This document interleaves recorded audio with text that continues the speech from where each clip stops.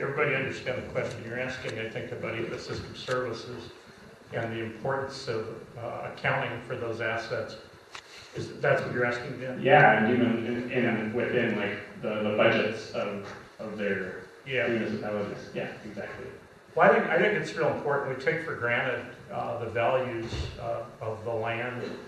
We might appreciate beauty, we might appreciate, you know, big, beautiful trees, but not many people take it down to the level of understanding, you know, the, the, the soil organic carbon on the landscape and the fact that every acre, uh, if there's a 1% increase in organic carbon, it'll hold about 12,000 to 60,000 gallons of additional water in the soil, not in a depression on the soil, but in the soil.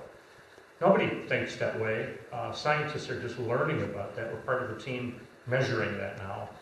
Uh, people don't even think about the interception. You know, what does a, a, a tree canopy uh, do to diffuse the impact of rainfall?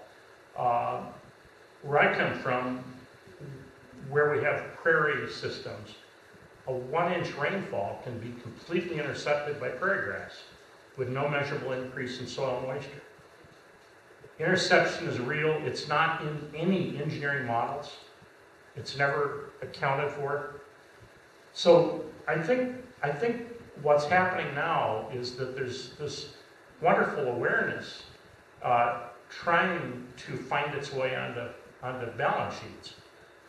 Uh, ecosystem services, you know, the, the sequestration rates of plants and the value of photosynthesis for improving uh, soil carbon.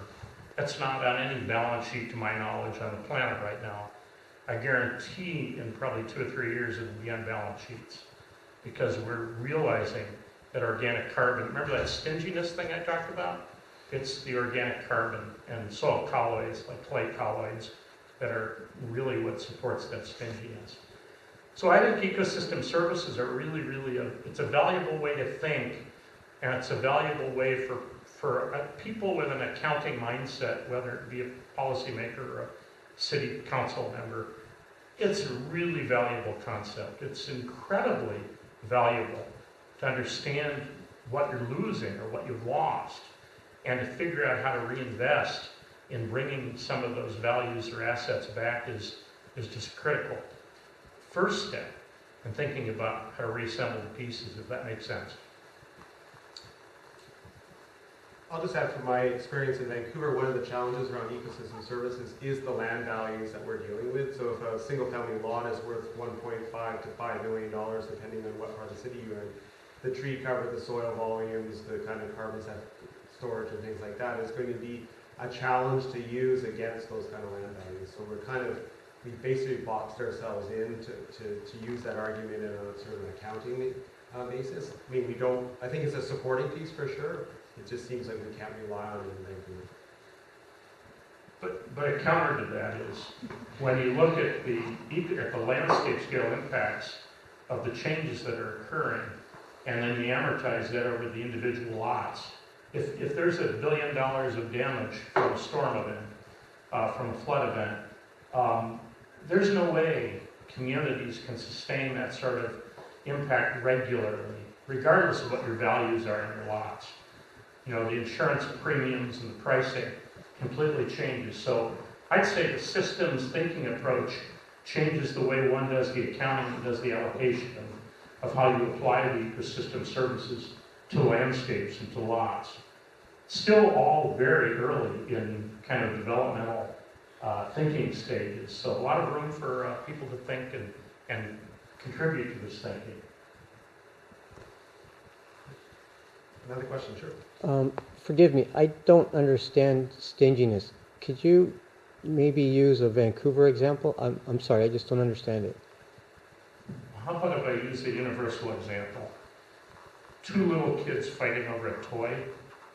Uh, that's how the idea of the word came to me. I was watching two of my cousins fighting over a toy, and the, the, the mother said, "Oh, he, that, that child never shares anything. Every toy, hope this makes sense, every toy that the other child gets for a minute is pulled right back by the first kid.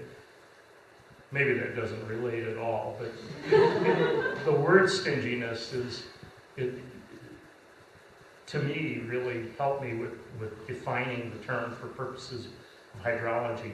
All, all it basically means with regard to ecosystems is that the plant and animal communities, the soil microbes, the life on the land really is, is not freely uh, releasing nutrients and water. It's hanging on to it, and it's the whole, the whole evolutionary design of these plant and animal communities above ground and below ground is to hang on to these materials. So, three years after the Mount St. Helens eruption in 1980, we studied the Toutle River and studied the, you know, what had come off of the, the watershed. And the, the pre-eruption uh, discharge levels in the Toutle River were back to what they were uh, three years after the eruption.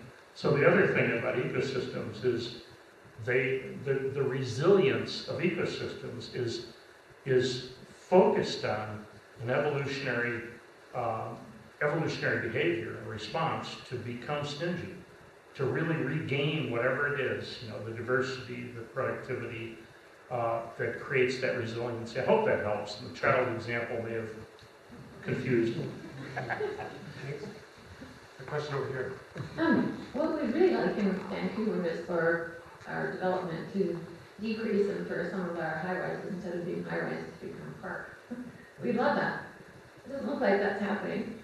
So, um, you did mention for permeability, so we're, we're looking for permeability, right, of soil. Presumably, old growth forest probably the most permeable. Um, and a paved area is the least permeable, so the water will just run right into the local rivers. So you mentioned a parking lot being, um, a porous kind of material. So what should we be telling our developers to increase permeability and water retention? I would say that I would encourage them to think holistically about the whole site and what their plan is gonna be for the whole site as a system, as opposed to just throwing in kind of specific tools. So we know that in our urban area, we're not gonna have no hardscape, so there's gonna be hardscape, so what makes the most sense? Do we wanna have that water flowing off of that hardscape, cleaned, and then using that water for some other purpose, like actually capturing it, and using it for some other part of our system? Do we want it infiltrating locally? I know that that's a huge opportunity, but I would say rather than sort of giving a prescriptive solution, what my hope would be is that people would think holistically about the whole site, the whole system, and how they're designing nature to be integrated into their way of doing the development. You know, we're thinking about things like green roofs. You know, we know that we're gonna have larger floor plates. Do we need to have conventional roofs? Can we have more green roofs? Do we wanna look at rainwater harvest and reuse to help offset potable water? Maybe we want actually some blue roof systems. So again, it's more of a systems thinking about what the goal is. One of the things that's been really interesting about the work we're doing around the uh, Rain City strategy is starting to identify on a watershed basis for Vancouver, what are the different priorities in different areas? If you know that your development is in an area where we have very significant green deficiency, where we have huge challenges potentially with urban heat, and we know that having uh, water available locally would be a high priority from a long-term water security perspective, the kinds of strategies and design tools that you would want to take in those areas would be different than an area that maybe doesn't have an urban heat problem, maybe has a, actually a great wealth of ecological uh, systems in place, and so other solutions might be more appropriate. So I hope that when we get through this process, what we can start to think about and communicate is what might different priorities look like in different communities from a watershed perspective, and then of course for local communities. Different local communities are gonna have their own um, needs and interests, and so how do we reflect that as well? So I would just say not a prescriptive solution, but more performance-based, and show us your creativity of how you can try to meet the interests that we're describing. Also add that, I mean, in many cases, infiltration obviously is the primary focus in trying to uh, increase permeability. But in parks, for example, sometimes we're looking at water capture and reuse. So we're needing water for irrigation, or we're needing water for a wetland, or to sustain urban trees that aren't doing very well in these drought situations. So how could you use a hard surface, either a roof or a parking lot, to capture some of that water? You obviously have to have a place to store it, but that's part of the equation as well it sort of blends the kind of green infrastructure with, with uh, some of the water conservation as well as the ecological values we're trying to sustain. That- Just want to add one more thing. Um, there's a really great video. You can check it out on YouTube. It's called The Berlin Sponge City. And we love that one. We just came across it about a month ago and it really captured what we're trying to do. But anyway, the, the urban hydrologist in the, the video says, you know, how do you find ways for even soil to hold that water so that it can then actually evaporate into the atmosphere? And he called it nature's air conditioning. He talked about the, the community of Rummelsburg in Berlin that 20 years ago actually designed a community with no sewer system, no drainage system. Right? The idea was actually providing soil volumes and areas where water can infiltrate, it can be held, can naturally evaporate into the atmosphere, that it's not, you know, infiltration is one important, but actually evaporation or evapotranspiration to our plant systems is another really important mechanism. Part of that, again, that natural water cycle we're trying to restore. So just, you know, put that thought out there as well. Slide pull over here.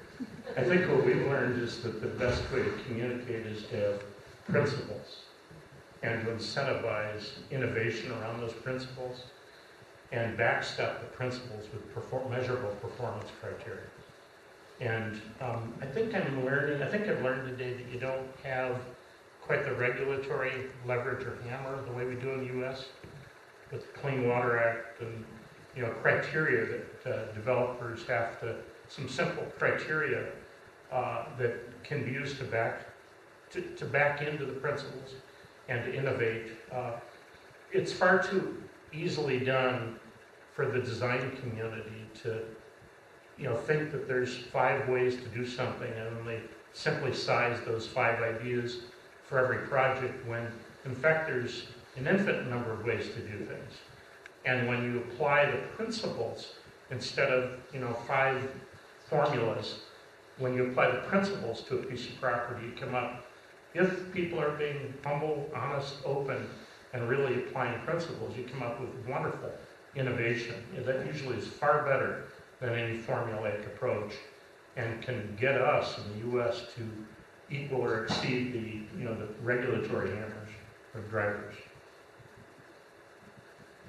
Thanks. We were given notice that we're about halfway through, about a minute or two or three ago. Hello, Steve. Um, this question is directed mainly for yourself. Um, we do have regulation here, particularly in terms of pollution of our streams and waters, as in the United States. But getting, getting back to the main themes, it would be fair to say perhaps that most of the people in the audience are disciples of what you're saying already. Our problem really here in Vancouver, which may exist elsewhere, is that we have a lot of silo type regulation and silo departments.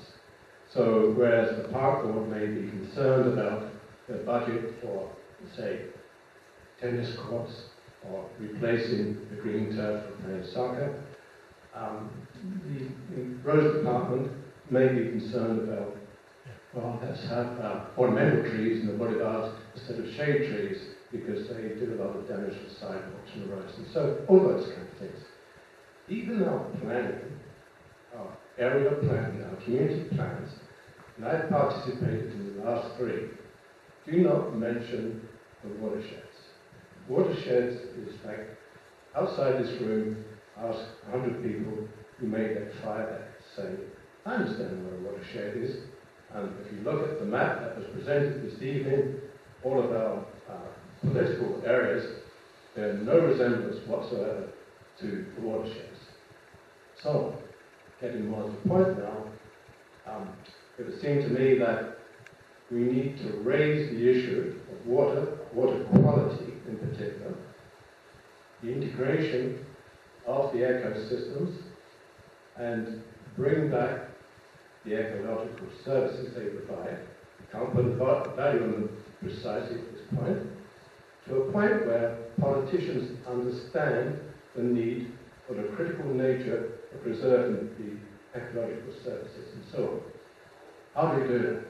So I thought that perhaps um, one way would be to make sure that it starts with the young kids in the schools. Unfortunately, our parks boards and our school boards and our engineering departments, perhaps, and I stand corrected on this, they don't get together and discuss how the kids can bring this or nurture it through this process so that it becomes a critical item when they're of voting age. Our political system is such that I mentioned the word housing, affordability, and traffic. They're the three items. Watershed, no. So, is there anywhere in the United States where this is being brought to grassroots level through the schools and up communities? I think there's wonderful examples. Um, even in Canada, we worked on the High Park uh, restoration in Toronto, and I was I was uh, in- initially amused at the way uh, school groups came out and were fascinated by the restoration of the savannas, and then I began to realize the importance of that conversation to the community.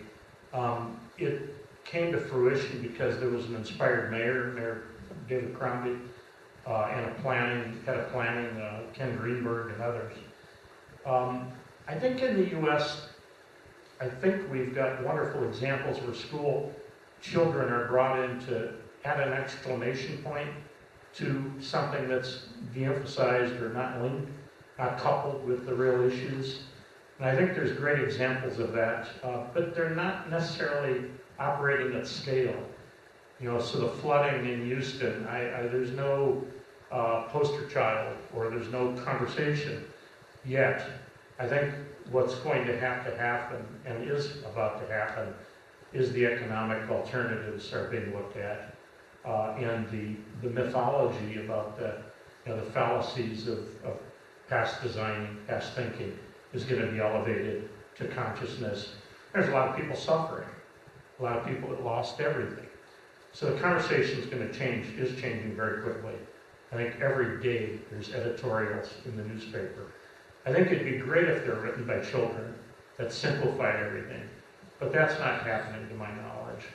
Um, I actually think there's bottom-up, top-down, uh, meet somewhere in the middle, and the middle is moving, uh, ways that have to be brought to bear to make this conversation really effective. Um, we try doing it with a little bit of science. That goes over a lot of people's heads. Uh, what works best, in my experience, is kicking the tires, taking people out to solutions that have worked and letting people in a, in a group uh, hear about why the solutions have worked. Taking people to places where where failed solutions uh, haven't worked and letting people understand why they haven't worked. This is about a kind of a reality check that has to do a 360, a full circle around the issue. And, you know, children are part of that conversation. I mean, I think there are exceptions to that generalization that schools are not sort of involved in some of these things. Go out to Jericho Park and most weekdays you'll see them using it as a cross-country race course, which is great, but there's preschools that are using it for outdoor education and things like that. So we're, we have a, the park board now has an environmental stewardship coordinator that's trying to partner schools with parks. Uh, Oak Meadows Park near Van Dusen partners who are there, Canberra, for example, and they do a lot of pollinator removal work. So these still might be exceptions, but I think that's changing. And part of it has been um, limited by the resources available to schools. I mean, I think we look at school grounds as almost as much green space across the city as, as parks, in, at least in some neighborhoods, but they haven't had an opportunity to plant trees or diversify some of. They're just mowed from corner to corner to corner because of the lack of those resources. So I think, you know, I'm not saying we can change that or that's an easy thing to change, but I think we, we acknowledge that there is opportunity, opportunity there. Question over here. Yeah, I just wanted to ask, uh, like, we've talked about uh, watersheds and making things more accessible to the public. Um, like with, like, Vancouver is developing very, very fast right now. And so, and it's very, it's a very complicated process a lot of the time. And so people are always looking for sh- shorthands to uh, manage that. So like, like, so one of the things that stuck out to me was uh, the importance of elevation within the watershed. Would that be an effective tool for people just to have an entry point to the discussion, or would, would there, or would there be another one you would suggest? I'm not quite sure I understand what you mean by elevation, maybe you could just expand on that. So di- distance from the tributaries. So if, if you're just in the trickle zone or stream zone, river, Okay, uh, coastal. With Vancouver, as you saw from the map, we don't actually have a lot of natural streams anymore. We've only got a few really that are at the surface, so most of our streams are buried. But what I will tell you from our drainage sheds, which is our man-made sort of modern incarnation of what used to be a stream system, is it really matters what happens in different parts of the watershed. So the more upstream in the watershed that you can actually take water out of that system and allow it to infiltrate or, or evaporate or evapotranspirate, the better the effect is gonna be on kilometers and kilometers of pipe network down the road, or down in the system. So absolutely targeting upfront in the watershed matters. Like, I bet most people don't realize that when you flush a toilet on a really rainy day at 39th and Cambie, you are likely contributing to a combined sewer overflow in False Creek. Most people probably don't make that connection because they're not thinking about that system's perspective and they're not thinking about how everything's connected. So hundred percent, we need to take action everywhere. We need to take action at a small scale throughout the city that collectively will have a big impact. But I definitely think there's great potential to be strategic about targeting certain parts of our our uh, watershed areas in a priority way to try to have a greater um, benefit and impact downstream the whole way. So we've got time for two more questions. I'm interested in um, the band play concept and planning of the park and your experience in the commercialization of parks um, for parks and recreation and competing priorities, trying to build budgets, and, and have you had experience about that and competing, competing um, parties and priorities? Good job with that.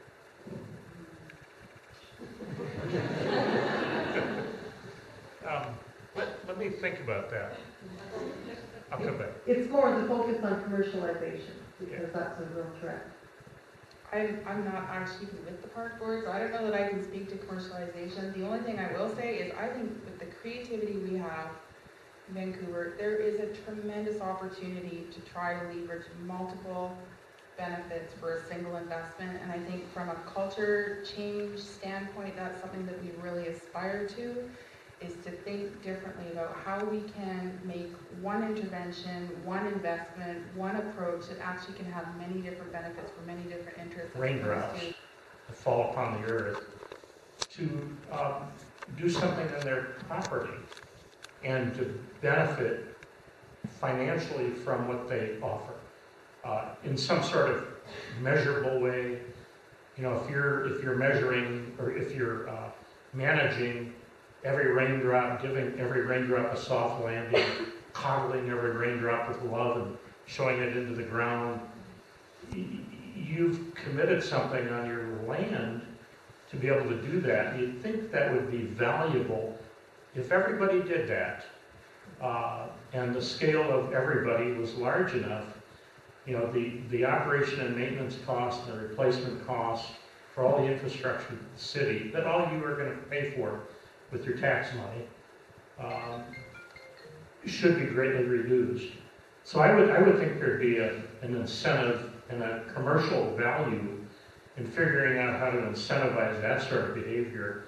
And I don't think that's exactly what you were asking about, but hopefully that's helpful. Your turn. Well, I'm gonna, we'll go on to the last question rather than go on that. One more question. Um, so I think, uh, one of the issues, especially in a city like Vancouver, we don't have a lot of large, new, like, natural areas that we'd be able to reinstitute, especially given the land values and that, but I think there's a lot of smaller scale interventions that can happen throughout the city. And I think one of the real challenges that I've seen where these often fail is we're great at building them, but really bad at maintaining them. And do you have any good examples of um, cities that have maybe had a really, um, are, are a good model for stewardship of these spaces and maintenance? So the best uh, examples I've seen are the Leopoldian motivated examples where, you know, you, you really um, make uh, these projects participatory and engage and empower the community in a variety of ways. And, you know, most, most agency budgets aren't good at doing O and M. They're good at protecting, buying land, doing the, they're good sometimes, depends upon what the budget's like and what the costs are. But uh, we, we, the best examples of O and M I've seen are where we add a real estate transaction surcharge to the, every transaction a piece of property goes through. And what we've done in the States on probably uh, 40 or 50 projects, maybe 100 by now, is we've added one half of 1% of the original transaction value and all subsequent transactions on the property in perpetuity to create an environmental endowment. And that endowment is being used to finance the operation and maintenance and stewardship and public education and funding scholarships and watersheds. So I think, I think creativity around funding, and I'm not talking about a developer impact fee, which, which is paid once and usually paid to reimburse sewer costs and other, you know, utility costs. I'm talking about something on top of the real estate transaction value that's transacted that kicks into an environmental endowment account that's privately managed, not publicly managed.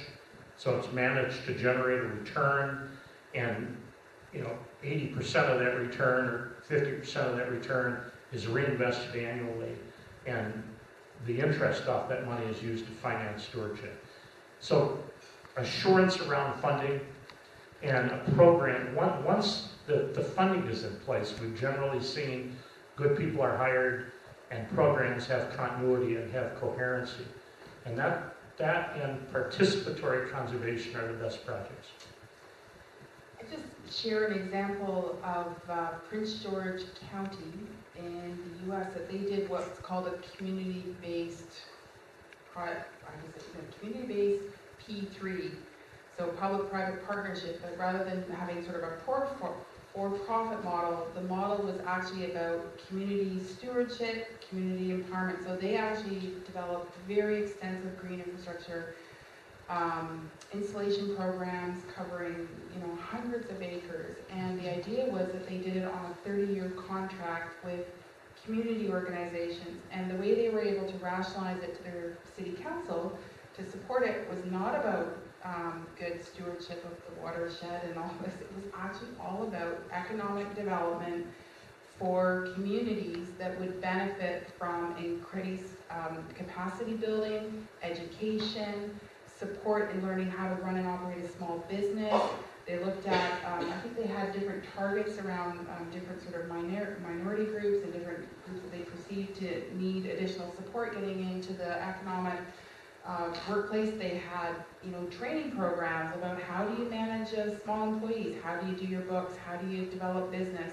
So it was a huge economic development program, and what's very interesting is actually that model is delivering very affordable green infrastructure investments. And so the people are responsible for not only doing the capital investment, but actually doing the O and M on those investments over 30 years.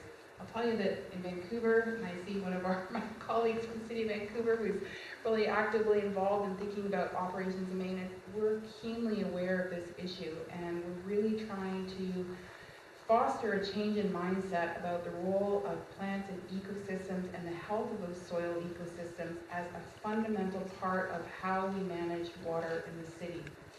And it's not something where we could just say, well, we're just gonna neglect it and, um, you know, let the boulevards go hairy. Maybe we should let the boulevards go hairy because they're enhancing our, our uh, interception of rain and, and whatnot, but We're just trying to really sort of articulate a different way of thinking about our urban fabric and that these natural assets in our city play a fundamental role to the quality of our city and in fact the performance. And so we need to care for them as though they're performing that wonderful service for our community. Thanks very much, that's a great way to end. Um, So I'd like to thank both our speakers, Melina and Steve, it was been a great evening, so.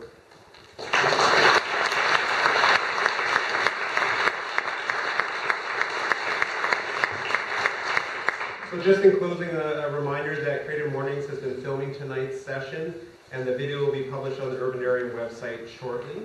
Um, I'd also like to acknowledge uh, the presence of one of our Park Board Commissioners, Catherine Evans, in the in the crowd tonight, so that's nice to see. Thank you, Catherine. Our next talk will be November 15th on the theme of celebration and diversity and features Kamala Todd as an inspiring Indigenous filmmaker and town planner, and Frida and Frank with their very playful approach to engaging people in public space. So hope to see you on the, the 15th. And if anyone wants to continue this conversation, you can join us at the lobby of the Hotel Georgia um, for a drink or more, more conversation. So again, thank you all for coming and hopefully you learned something and enjoyed the evening.